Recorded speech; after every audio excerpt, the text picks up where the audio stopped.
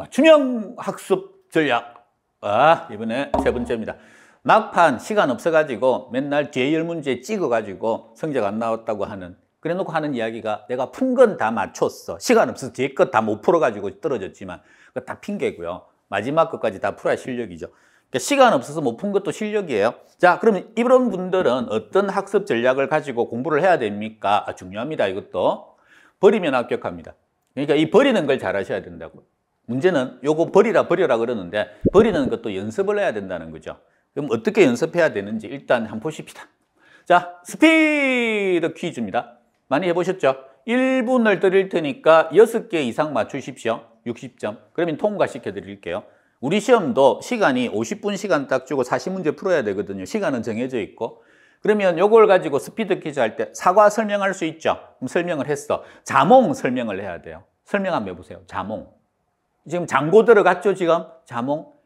문제는 요 자몽을 설명을 하실래요? 설명을 안 하고 패스를 하실래요? 문제는 이걸 빨리 딱 보자마자 패스해버리면 그 다음에는 딸기 설명할 수 있잖아요. 그 다음 키위 이것도 조금 어렵죠. 패스해버리고 수박 요거 설명을 하고 람부탄 연탄 뭐 이런 건가? 람부탄이 어 요거 탁 나오면 어 저건 또 뭐야? 우리 선생님은 저런 거 안 가르쳐 줬는데 에이씨 라며 하면서 또 요것도 뭐 한참을 헤매겠죠.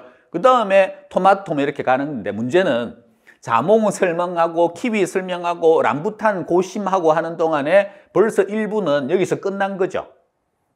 여기서 끝나버리면 토마토, 포도, 바나나, 복숭아 설명할 수 있는 거 4개 쉬운 거 있잖아요. 이거는 아예 쳐다보지도 못하고 여기서 끝나버린 겁니다. 그러니까 뒷부분을 못 풀고 이거 설명인 거 다 맞췄을 것 같아요? 아니죠. 이거 틀렸고 이것도 틀렸고 이건 아예 모르니까 틀렸고 그럼 이 사람은 몇 점 나왔습니까? 30점 나온 거지. 3개 풀었으니까. 아 뒤에 거에서 찍어서 하나 맞췄다 치고 한 40점 나오겠네.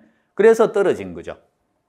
이렇게 하면 된다 안 된다? 안 된다. 그럼 어떻게 해야 됩니까? 설명하고 딱 보자마자 패스, 설명하고 보자마자 패스, 설명하고 딱 보자마자 패스, 설명하고 설명하고 설명하고 설명하고 그렇게 해서 기본이 70점 이렇게 바로 나와야 된다. 그러면 이제 두 사람의 차이가 합격한 사람들 있죠. 70점 나온. 그 사람들은 이거 보자마자 다 패스했거든요. 그러니까 머릿속에 남는 게 없어요. 이게 있었다는 것도 몰라. 어려운 건 다 패스했으니까. 그래서 어려운 문제를 본 적이 없어요. 쉬운 것만 나오더라. 부동 중개사 시험은 불합격생, 불합격생은 이거는 아예 본 적도 없고요. 일단 네 개를.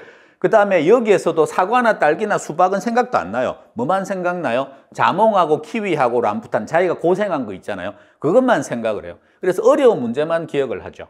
그래 놓고 점수는 40점 나왔고 그럼 내년 준비할 때 어떻게 준비합니까? 이거 설명 잘해야 되겠다는 생각을 해요. 그래서 자몽, 키위, 람부탄 요거 설명 못해서 내가 떨어졌다고 생각을 하지 내가 못 버려서 떨어졌다고 생각을 안 한다고요. 그래서 다음 연도가 되면 또 똑같은 실수를 합니다.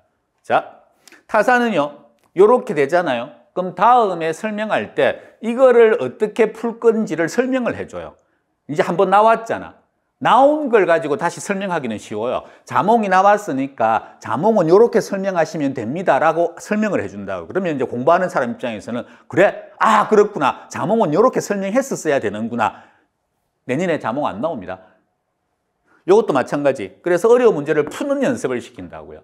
근데 방문각은 어려운 문제 나오면 이걸 버리는 연습을 시켜요.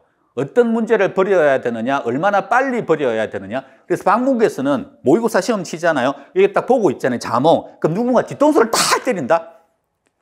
그러면, 아, 버려야지. 버려야지. 자, 그래서 다음 연도에 시험 치러 갔습니다. 시험 치러 갔는데 문제가 이게 나온 거지. 나왔으니까 아까 연습한 사람들이 있죠. 무화과도 연습하고 막 한 사람들. 그 사람들은 똑같이 해요.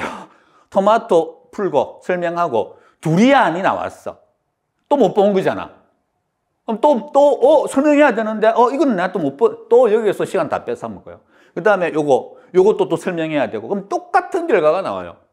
연습했던 거 나왔어요? 안 나왔어요? 연습은 자몽, 키위, 람부탄 했잖아. 근데 이거는 털리라고 낸 문제이기 때문에 똑같은 문제가 나오지 않는다고요. 이번에는 두리안, 무화과, 파파야가 나왔어. 그럼 내년에 또 두리안, 무화과, 파파야 공부하면 내년에 또 얘가 이게 나올까요? 안 나온다고 또 이상한 애들 나온다고. 그래서 공부할 건 버리는 애들은 여기, 여기, 여기가 뭐가 나오든 아무 상관이 없잖아요. 어차피 버릴 거니까. 한 세 개는 어렵게 나오거든요. 그래서 어떤 결과가 나옵니까? 어려운 문제를 푸는 연습을 한 수험생들은 또 똑같은 상황이 벌어진다. 근데 어려운 문제를 버리는 연습을 한 수험생들은 그냥 무난하게 합격하는 거죠. 첫 해는 못 버려서 떨어졌는데 둘째 해는 버리는 연습을 해서 합격했다. 제발 합격 좀 하십시오. 그래서 버리셔야 됩니다. 그래서 완벽주의 수험생들, 난 꼭 맞추고 말 거야 이런 사람들이거든요. 그럼 꼭 뒤에 가지고 시간 없어서 못 풀고 이런 분들은 버리면 합격이다. 근데 이게 쉬운 게 아니다. 버리는 것 자체가 힘들다. 그래서 버리는 것도 연습을 해야 된다고요. 그 연습 당국학에서 시켜드릴 거니까 꼭 좀 잘 따라오시기 바랍니다. 자, 어, 그럼 다 했고. 카! 내일 하는 게 또, 또 저기, 우리 시험에 몰라서 틀리는 사람 별로 없거든요. 다 헷갈렸어요. 모르는 문제가 없어. 근데 정확하게 아는 게 하나도 없어. 그래서 다 틀려요.